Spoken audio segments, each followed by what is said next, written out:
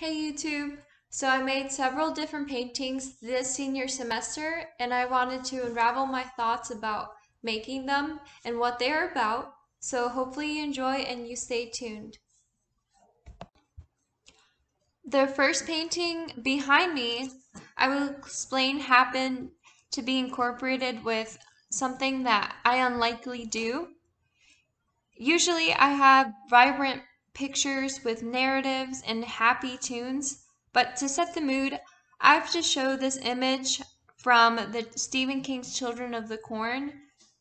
It gave me an inspiration, and my headspace went to convey a mythical theme, and it, I envisioned nightmares, children's themes, the sixth sense, and a dark realm of imagination. From art history records, I learned that cherubs were children's protectors from evil. Therefore, I proposed the idea that cherubs came to decapitate evil stuffed teddy bears. Then, to describe them, they took the teddy bear's head and they put them on top of the uh, on top of their own heads, and the stuffing is just going everywhere, as you can see. But I really enjoyed to be very creative with this painting and I incorporated past drawings that I had already made in classes previously. And that just gave me a sense of this luring presence of dark entity, of like a submissive, alluring spirit. And I put it on this painting and I wanted to make sure to perceive that vibe that the assignment instructed. Next, I made a series of self-portraits designed to illustrate different characteristics of my personality. I'll break them down. This one is about me being quirky, childish, and loving stuff fluffiness, but I'm also funny and inappropriate. And the motifs are pretty obvious in this one. And I also like to use mixed media in several of these paintings that I made. So this is just one of the examples that I use photo print and incorporated with different mediums like oil, acrylic, and gluing on magazine clippings and using vibrant color.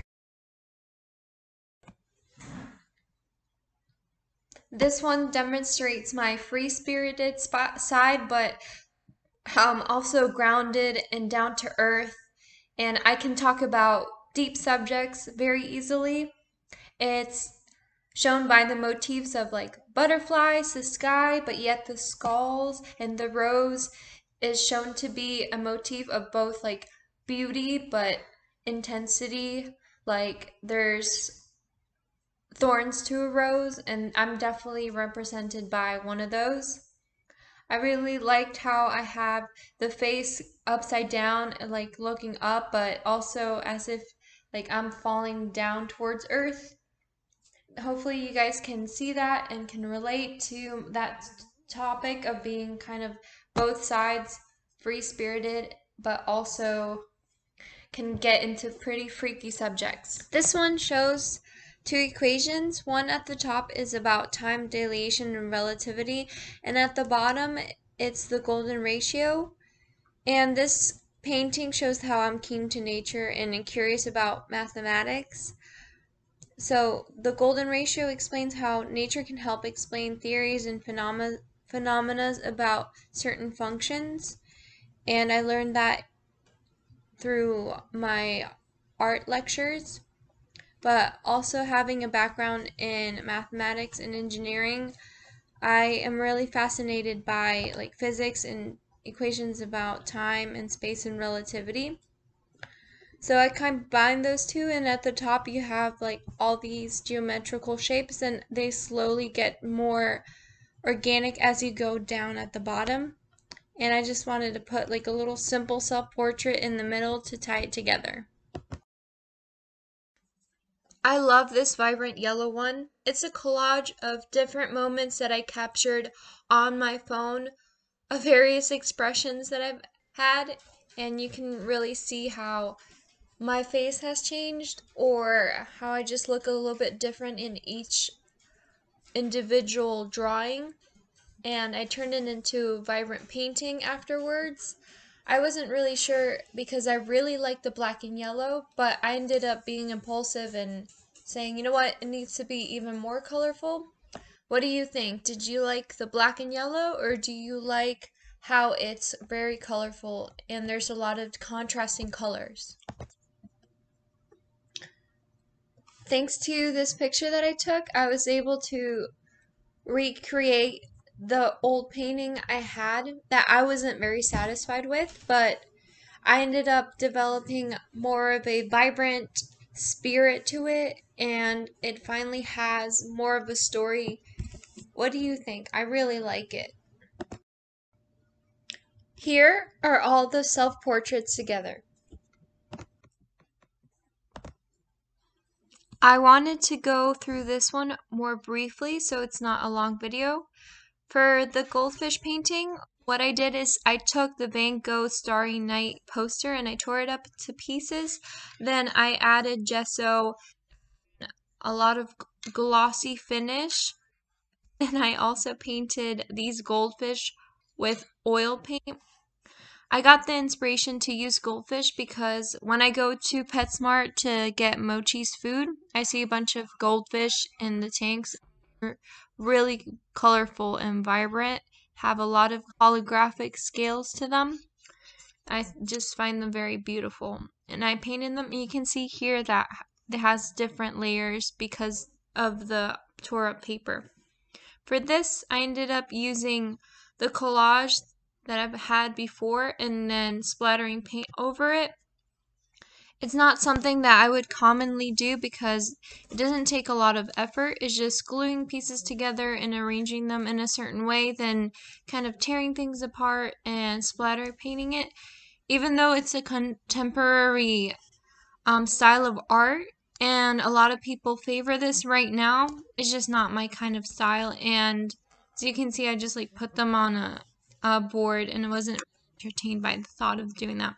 For this one, it's one of my favorite ones. It has to do with like self image in relation to times in the past versus right now. So you have two sides of the story how like this lady from the 1920s or the 30s, she's like putting on her makeup and they really iconicized makeup and beauty at that time, but also we do now as well, just in a different cultural way.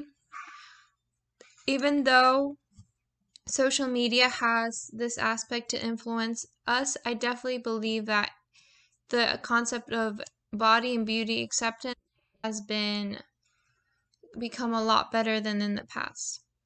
Now, for the next one, I ended up putting together little mirrors around this table that I had that had a reflection and I wanted to play with how different angles could be perceived in the mirrors and you can even see my little self in the reflection of the glasses.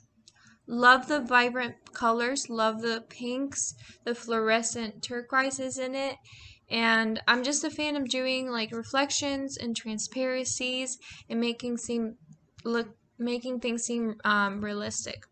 For the mochi painting, I did also with the mirrors.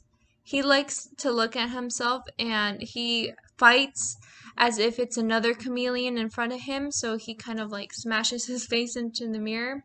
It's not dangerous. I make sure that he's okay. But that just captures how he's attentive to his own image in mirrors. And I love like how his curl spirals and I made sure to preserve like his own character in this painting. I also made another painting about Mochi and just had different pictures of him on my phone that I used to create this one. So, and I put them all together in a collage.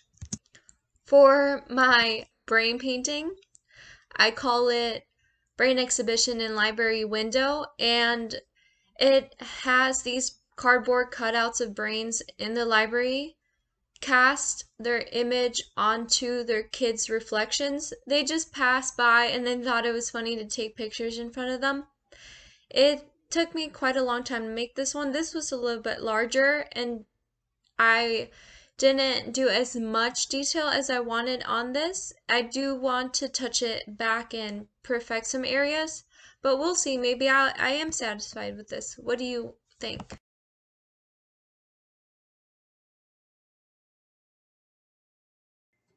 All right, so that is what I have so far to show. I'm working on some new pieces and I'll be coming up with different content.